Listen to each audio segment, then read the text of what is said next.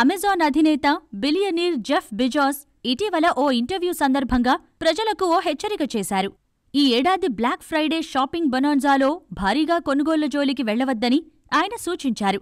అయితే ఈ వ్యాఖ్యలు చేసినందుకు గాను బెజోస్ కొంత విమర్శల పాలయ్యారు. ఎందుకంటే ఆయన చేసేది కూడా వ్యాపారమే. వాస్తవానికి ఆయన బిజినెస్ మోడలే జనం చేత డబ్బు ఖర్చు పెట్టించడం. అలాంటి వ్యాపారవేత్త ఇలాంటి సలహా ఇవ్వడం జనం జీర్ణించుకోలేకపోతున్నారు. అయితే ఆయన చెప్పింది నిజమే అంటున్నారు ఆర్థిక పరిశీలకులు. ప్రస్తుతం ఇది అనిశ్చిత ఆర్థిక సంధికాలం. సమీప భవిష్యత్తులో ఈ అనిశ్చితి తొలగిపోయే సూచనలు లేవు. కనుక సామాన్యుడు తన ఆర్థిక భవిష్యత్తు గురించి ఆందోళన చెందడం సహజం. అందుకే బెజోస్ వారి కోసం ఈ సూచన చేశారు.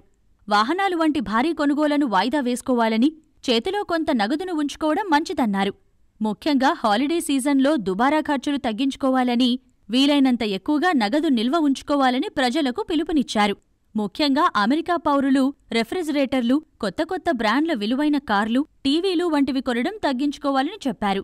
ఆర్థిక పరిస్థితులు రోజురోజుకీ మందగిస్తున్న తరుణంలో బెజోస్ ఈ వ్యాఖ్యలు చేశారు. ఆర్థిక మాంద్యం సంకేతాలు బయటికి కనిపిస్తున్న తరుణంలో దాని నుంచి బయటపడేందుకు సిద్ధం కావాలని అన్నారు. చిన్న చిన్న బిజినెస్లు చూసుకునేవారు కొత్త వాటిపై ఇన్వెస్ట్మెంట్లను తగ్గించుకొని వాటిని నగదు రూపంలోకి మలుచుకోవాలని సూచించారు.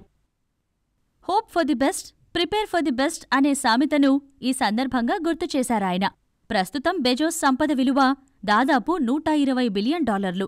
ఇటీవల వేలాది మంది ఉద్యోగులను తన కంపెనీ నుంచి తొలగించారు. ఖర్చు తగ్గించుకునేందుకే అమెజాన్ ఉద్యోగుల తొలగింపు నిర్ణయం తీసుకుంది. తన స్వంత బిల్లులు చెల్లించడం గురించి ఎప్పటికీ చింతించాల్సిన అవసరం లేని వ్యక్తి నుండి ఖర్చుల గురించి సలహా తీసుకోవడం సగటు అమెరికన్కు కష్టంగానే ఉంది. అయితే అదే సలహాని radio show host Dave Ramsey ఇచ్చినట్టయితే అది ప్రజలకు ఓ సువార్తలా వినిపించేదని కొందరు అంటున్నారు. అమెజాన్ కార్ట్ నుంచి కొన్ని వస్తువులను తొలగించడం ద్వారా వారి హాలిడే గిఫ్ట్ ఖర్చును తగ్గించుకోవాలని వినియోగదారులకు సలహా ఇవ్వడం విమర్శకులు సరైనదే అంటున్నారు. పైగా ఈసారి బ్లాక్ ఫ్రైడే కార్ డీల్ కూడా మునుపటికన్నా భిన్నమైనది. సాధారణంగా హాలిడే సీజన్లో ఇటు డీలర్లు అటు ఆటో మేకర్లు సంవత్సరం చివరి నాటికి ఇన్వెంటరీని క్లియర్ చేయడం కోసం ఈ డీల్ నిర్వహిస్తారు. రెండు వేల ఇరవై రెండులో చాలామంది డీలర్లు ఖాళీగా ఉన్నారు. క్లియర్ చేయడానికి వారి వద్ద మిగులు వాహనాలు లేవు. అందువల్ల ఇప్పుడు వారు కార్లపై డిస్కౌంట్లు రాయితీలు ఇవ్వలేరు. కనుక ప్రస్తుత పరిస్థితుల్లో ఈ కొనుగోలు అవసరమా అని జనం ఆలోచించాలని విశ్లేషకులు సూచిస్తున్నారు. కొనే ముందు ఒక నిమిషం ఆలోచించి నిర్ణయం తీసుకోవాలని కారుపై వెచ్చించాలనుకున్న మొత్తాన్ని బ్యాంకులో ఉంచుకోవాలని అంటున్నారు. ఈ క్రిస్మస్ హాలిడే సీజన్లో తక్కువ డబ్బులు ఖర్చు చేయడం కుటుంబం స్నేహితులతో ఎక్కువ సమయం గడపడం ఉత్తమమని అంటున్నారు.